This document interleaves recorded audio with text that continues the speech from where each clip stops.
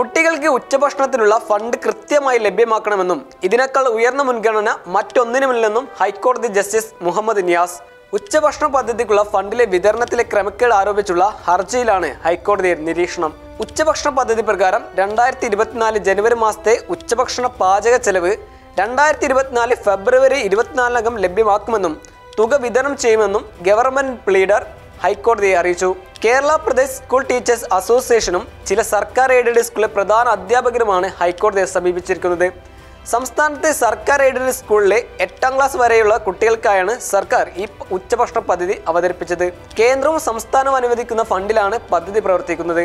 ഓരോ വർഷവും രണ്ടു ഗഡുക്കളായാണ് കേന്ദ്രം സംസ്ഥാനത്തിന് വിഹിതം നൽകുന്നത്. എന്നാൽ ഇങ്ങനെ നൽകുന്ന ഫണ്ടിൽ ക്രമക്കേട് നടന്നുകൊണ്ടിരിക്കുകയാണെന്നാണ് ഹർജിക്കാരുടെ പ്രധാന വാദം. അനുവദിച്ച ഫണ്ട് പോലും യഥാസമയം വിതരണം ചെയ്യുന്നില്ലെന്നും ഹർജിക്കാർ ചൂണ്ടിക്കാട്ടി. പദ്ധതിയുടെ നടത്തിപ്പിൽ നിന്ന് ഹെഡ്മാസ്റ്റർമാരെ മാറ്റണമെന്നും പദ്ധതിക്കുള്ള പണം എല്ലാ മാസവും മുൻകൂറായി നൽകണമെന്നും ഹർജിക്കാരുടെ മറ്റൊരു പ്രധാന ആവശ്യവും. സീനോസ് കോഴിക്കോട്.